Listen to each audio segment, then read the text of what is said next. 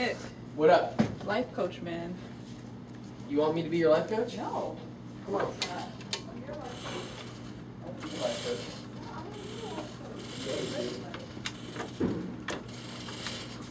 All over that.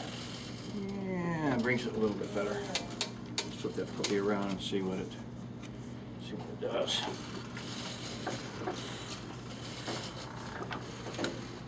Crunch. Okay. All right, let's see what it did.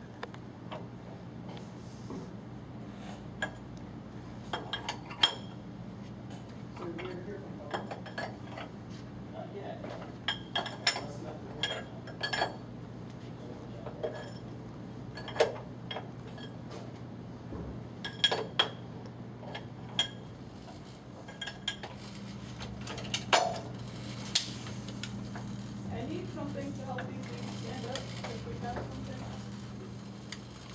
I'm gonna keep the blade. I want to keep it in the back. Why don't you go put it in the room? Go around the corner, go in the room. Keep. Yeah, what's it gonna be? Oh, I need to- Might need to change it. Maybe this weekend I'll probably start working. You won't have to change it this week. I just changed it last week. It'll be changed next week. Yeah, you can start putting stuff over there if you want. Yeah. Oh, we have new rooms back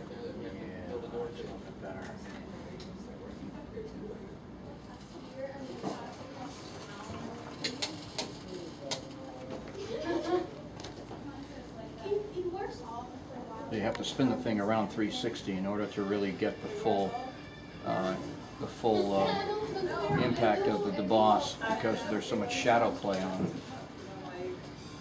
When the die strikes the paper, it creates sort of a, a polished finish inside, and so you can rotate it here and you see light reflecting, it makes it look light. But then when you rotate it, then suddenly that looks deep.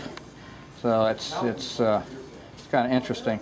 Now this is two pieces of 110. I'm going to go ahead and throw a piece of 220 on there now, and see what that actually does.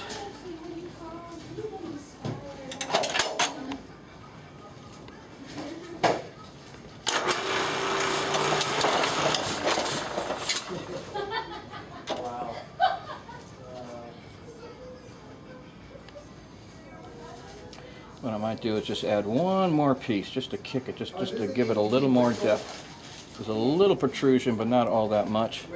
It's pretty equal side to side. I'm pretty happy about that.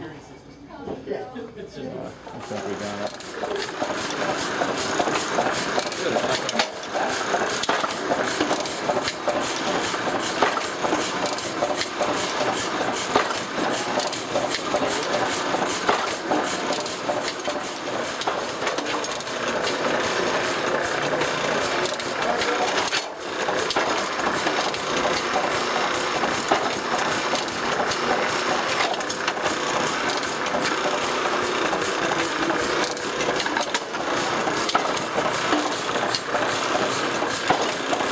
One thing about having a Kluge that bothers me is this set of thumb shears that are designed to sear your thumb off right here.